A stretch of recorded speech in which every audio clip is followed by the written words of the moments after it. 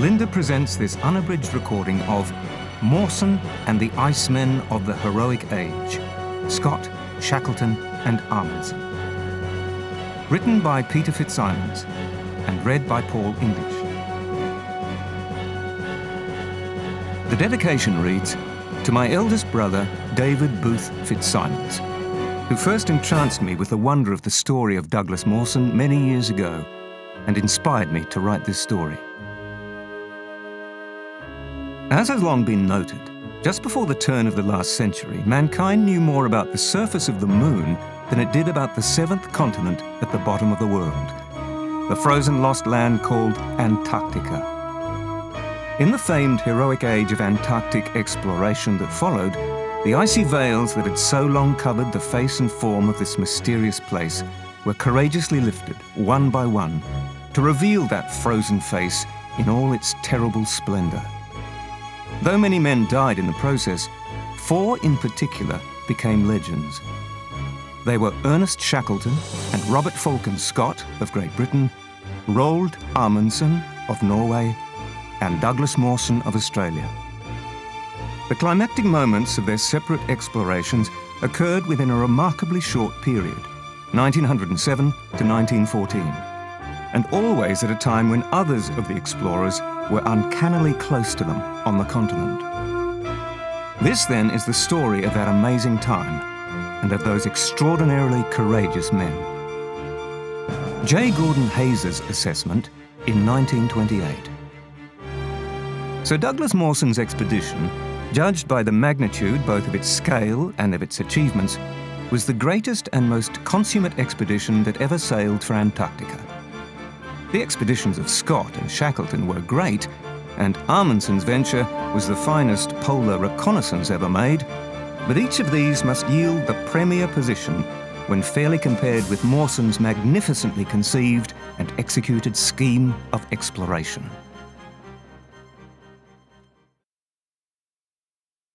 Author's note. There is little consistency among authors in this field, original or later, when it comes to the expression of expedition and journey distances. Distances may be expressed in statute, standard, miles, geographical or nautical miles, kilometres, or a mixture of all three within the same book. A geographical mile, synonymous with a nautical mile, only on land rather than at sea, is equivalent to one minute of longitude, and therefore one degree of longitude is equal to 60 geographical miles. Geographical miles are preferred for navigation because it is very simple to convert coordinates of longitude to distance. In Mawson's Australasian Antarctic Expedition diaries, distances are typically expressed in statute miles, while Scott wrote in geographical miles throughout his Terra Nova diaries. Shackleton wrote The Heart of the Antarctic in statute miles, though he recorded both statute and geographical miles, until at his farthest south, when he changed to geographical miles to calculate the distance between his farthest south and the pole. In this book, I have chosen to consistently express all distances in statute miles, because to my ear it sounds more authentic to the period than the kilometre and because many readers will still be familiar with it. A statute mile is our regular land mile and is around 0.87 of a geographical mile. To assist the reader, where a quote includes geographical miles, I have endnoted the equivalent distance in statute miles, simply times by 1.15. For example, if you are located at 88 degrees 57 minutes south, you are 1 degree and 3 minutes, and therefore 63 geographical miles from the pole, 90 degrees south. And 63 by 1.15 equals 72.5 statute miles. There are minor variations in the lengths of geographical miles because the Earth is not a perfect sphere and different organisations adopted different standards.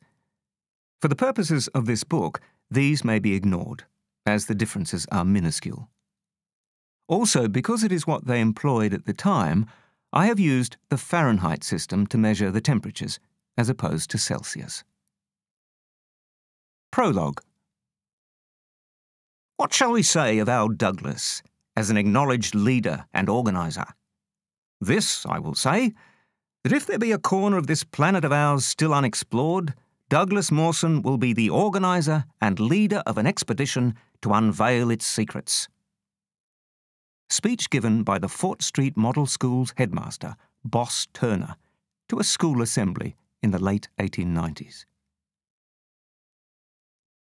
It was in the time before the dream time, nigh on 800 million years before people walked the earth.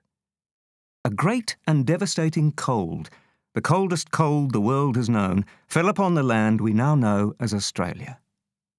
The snow tumbled down, the winds howled, the blizzards blew, the rivers froze, and such primitive organisms as had then evolved perished hard.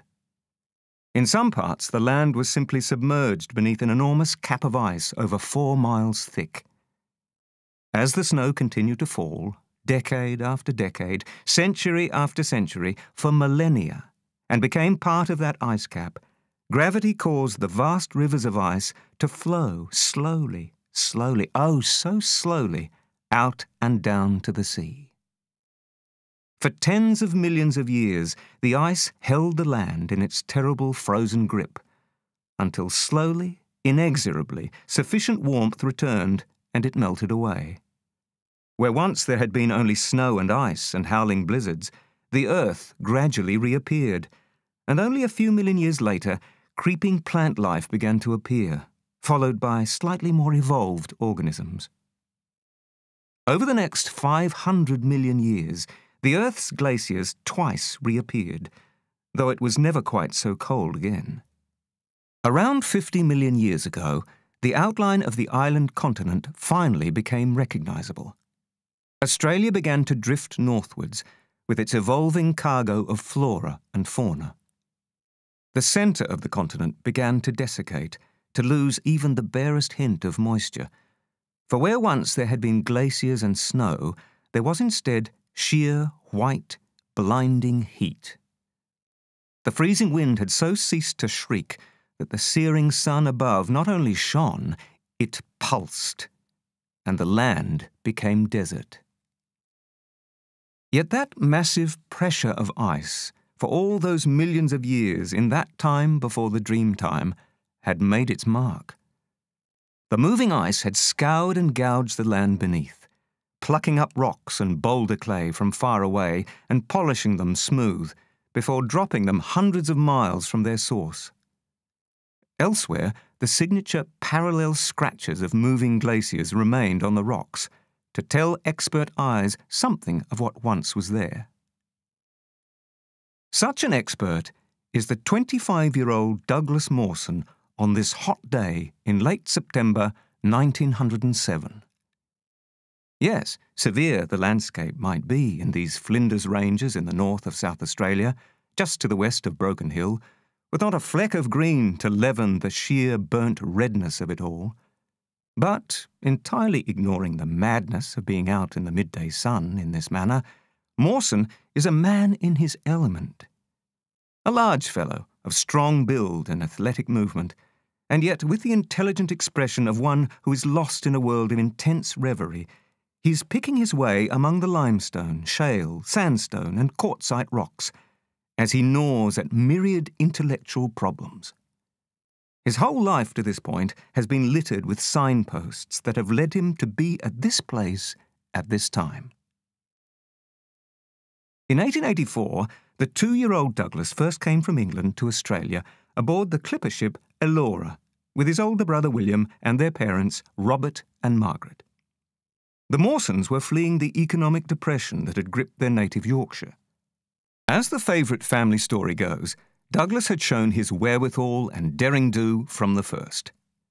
For on board that ship, somewhere out upon the seven seas on their way to their new home, the little one slipped unnoticed from the comfort of his mother's side in the galley and decided to go exploring. Soon enough making his way out into the glorious sunshine and the refreshing sea breeze. But if it was wonderful down here on the deck, where still no one had spotted him, how much better and brighter might it be up there, up in the rigging? And off he went, hand over hand up the ratlines, getting higher now, his feet gamely gripping to the spot where his hands had just been. His aim was to get to the very place, high above, where he had seen men walk sideways, and maybe he would have got there too, but. But suddenly there is a whole lot of shouting coming from below, and a little bit of familiar wailing. It does sound rather like Mother, before he is gripped by the strong hands of a sailor. That worthy maritime man thinks he is rescuing the wayward child, but the said child has an entirely different impression. The little one thinks he is being unfairly thwarted from achieving his appointed goal. Screaming all the while, he is taken back to the deck by the grinning sailor, who deposits him at his parents' feet, saying only, Plucky little cuss, what will he do next? And that propensity of young Douglas to push himself, to go further than others, to take calculated risks in his stride and discover new worlds along the way, is one that stays with him ever afterwards. First up, this new rough and tumble world of Australia, where the family settled, offered many opportunities for his restless spirit to find an outlet. For though they arrived there as a relatively well to do family, the Mawsons' money did not last long in the new land. After first putting some of his capital into a citrus orchard out in the west of Sydney at Rooty Hill, where he settled his young family, a place where the boys could ramble, Robert Mawson then invested in pigs, followed by a new fruit canning plant, only each time to achieve the same poor economic result. The family was closer to penury than prosperity, but the boys were flourishing regardless in a very outdoor, rustic life. As Robert's finances were not quite so robust, however, the family retreated to the inner city suburb of Glebe in 1893, allowing Robert to take a more secure job as an accountant. The family moved from house to house over the next few years, and the enterprising Margaret Mawson sometimes took in boarders to make ends meet. None of this affected the intellectual pursuits of the boys. To the contrary, they had both been outstanding academically. Some 14 years later, as Douglas was about to graduate from his famous Sydney secondary school, Fort Street Model School, his headmaster, Boss Turner, remarked to a school assembly, What shall we say of our Douglas as an acknowledged leader and organiser?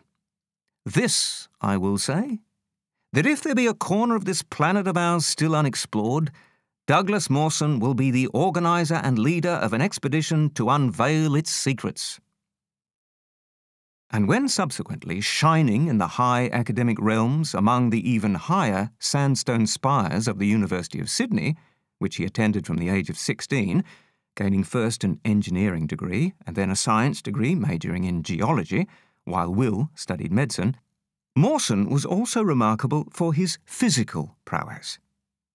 In April of 1903, at the suggestion of his university mentor, Professor Edgeworth Tweedy David, he travelled on a steamer to the New Hebrides to conduct an extensive geological survey of the whole island chain.